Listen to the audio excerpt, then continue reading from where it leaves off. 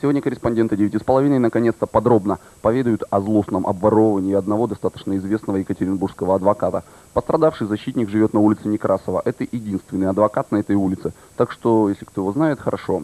Для остальных ограбленный юрист пожелал остаться инкогнитой. Когда точно свершилось преступление, неизвестно, но обнаружил адвокат то, что его хату подняли в конце прошлой недели, когда вернулся с дачи.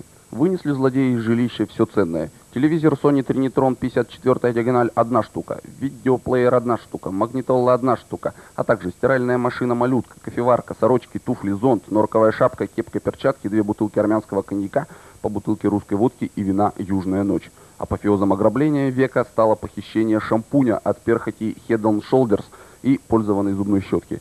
Всего за дверь ушло мат ценностей на 8 миллионов рублей – Сумма, безусловно, не самая большая в криминальных аналах. Но адвокату просто обидно, честное слово. Он человек старой закваски, 30 лет защищает уголовников. В старые добрые времена работал за 20-30 рублей и сейчас не пытается урвать и разорить клиента. Обыдно. Раньше адвоката по понятиям нельзя было грабить. Сейчас времена изменились. Отморозкам наркоманам плевать на все ценности заради одной понюшки кокаина. Может, они не знали, что квартиру адвоката выставили, но определенно они действовали по наводке. Просто случайно эти люди не ходят. Рисковать они случайно не будут. Они знали, что, видимо, есть кое-что здесь, но искали в основном, видимо, доллары, золото, которых у меня никогда здесь не было, и вообще не было никогда. Ни золота, ни долларов. Я э, адвокат старый, 30 лет защищаю домушников, но теперь создался психический барьер серьезный. Я не могу сейчас защищать, но морально подавлен я.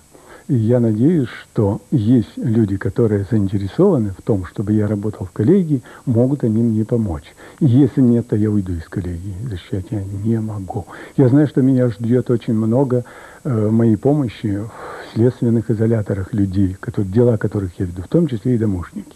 Если они могут повлиять, они могут это сделать чтобы вернуть мне все. И э, с какими-то, может быть, не извинениями, но хотя бы вернуть. Если этого не будет, то я, безусловно, уйду из коллеги. Кроме морального аспекта, адвокат не может пройти в СИЗО к своим клиентам, так как у него воришки сперли адвокатское удостоверение. Так что кто-то из воров сейчас в тюрьме втухает из-за таких же, как он, воров неразборчивых.